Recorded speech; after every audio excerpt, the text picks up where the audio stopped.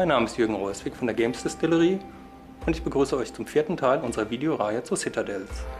Heute wollen wir euch noch ein paar spezielle Features aus Citadels zeigen. Viel Spaß dabei!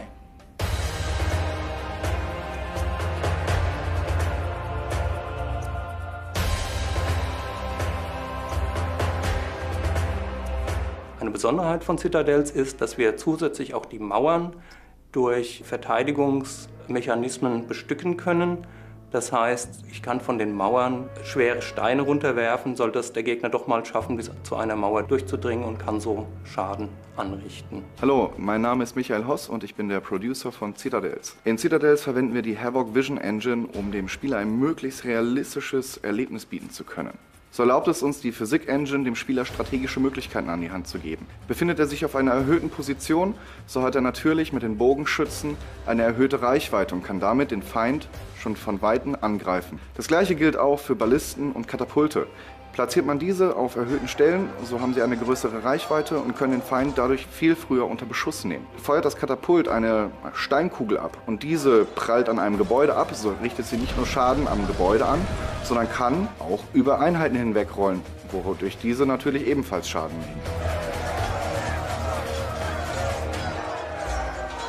Auch im Verteidigungsfall kommt die Physik-Engine zum Einsatz mit den Wall Attachments. Greift ein Soldat eine Mauer an und platziert dort eine Leiter, so kann der Verteidiger die Leiter auch wieder umkippen. Kippt die Leiter um, so kann sie auch Schaden anrichten. Zu guter Letzt hat die Physik-Engine noch Auswirkungen auf die Bewegung der Einheiten, beziehungsweise darauf, ob Projektile sie überhaupt treffen können. Schießt ein Bogenschütze zum Beispiel einen Pfeil ab, so ist es nicht unbedingt gesichert, dass dieser Pfeil auch tatsächlich im Ziel ankommt.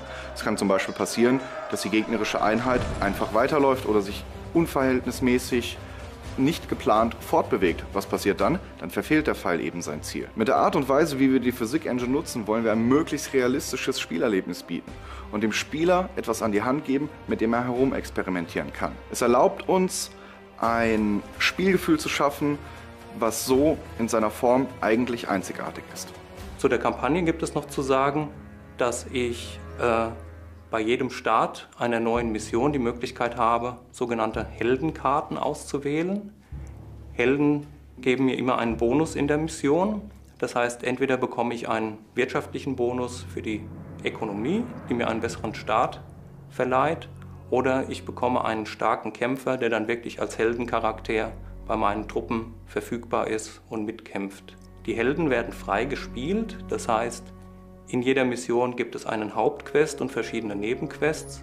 Und jedes Mal, wenn ich es schaffe, in einer Mission alle Nebenquests zu erfüllen, wird mir eine neue Heldenkarte freigeschaltet, die ich dann bei der nächsten Mission einsetzen kann.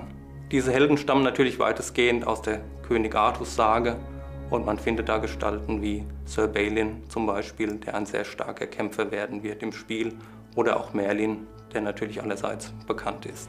Durch das Erfüllen der Quests und Abschließen der Missionen bekomme ich pro Mission insgesamt einen Heldencharakter, den ich in zukünftigen Missionen einsetzen kann. Zum Beispiel kann ich dann die Ritter der Tafelrunde als meine drei Karten für eine Mission auswählen und diese Ritter stehen mir dann im Gefecht zur Verfügung. Sie sind dann natürlich ein wenig stärker als die regulären Einheiten und äh, halten auch insgesamt mehr aus, teilen größeren Schaden aus.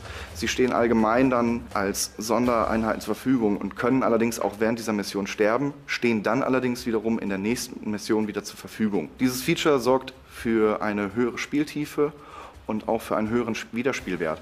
Da der höhere Wiederspielwert sich daraus generiert, dass ich diverse Missionen noch einmal spielen kann, aber eben mit anderen Charakteren. Das heißt, ich kann mir für jede Karte, sollte ich sie denn nicht zu 100% abgeschlossen haben, noch einmal eine andere Strategie ausdenken, um mit anderen Charakteren ein besseres Ergebnis zu erzielen. Das war schon der letzte Teil unserer Videoreihe zu Citadels. Ich hoffe, es hat euch gefallen und ihr habt genauso viel Spaß beim Spielen, wie wir bei der Entwicklung hatten. Bis bald!